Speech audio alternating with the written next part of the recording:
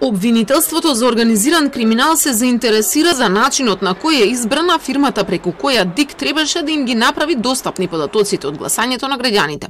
Влезе во комисијата за да провери како е избрана токму Дуна, но и како се купени три телевизори. Ова доаѓа после написите на медиумите за цената на чинење на телевизорите, но и изборот на Дуна, велат од обвинителството. Предметот го отвориле под допрен глас, а во ДИК влегле по налог на судија. Поднесовме барање до судија на предходна постапка да даде наредба за претрес поради сомневања за јавната набавка. Ке ја провериме законитоста на јавната набавка. И председателот на ДИК Оливер Дерковски ја потврди информацијата, но вели дека набавката е законски и се почитувани сите процедури.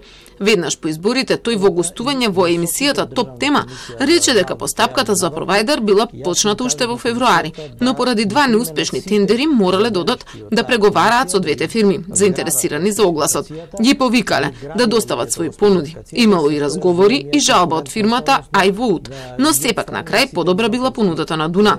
Дерковски вели дека и комисијата која одлучува по жалби потврдила дека постапката е во ред. Изборите се закажа и немавме повеќе време повторно да распишуваме јавен тендер и така натаму. Затоа во 4 очи 40 дена не е во 4 очи, во 4 очи предходните години се случува. Сега имате постапка член 55 став 1 од Законот за јавни набавки каде што по пат на преговарање прибирате понуди, повторно ги повикавме двете компании заради нивниот интерес, доставија понуди и повторно беше подобра понудата на Дуна компјутери, значи двете учествува, повторно имаше жалба од незадоволната страна.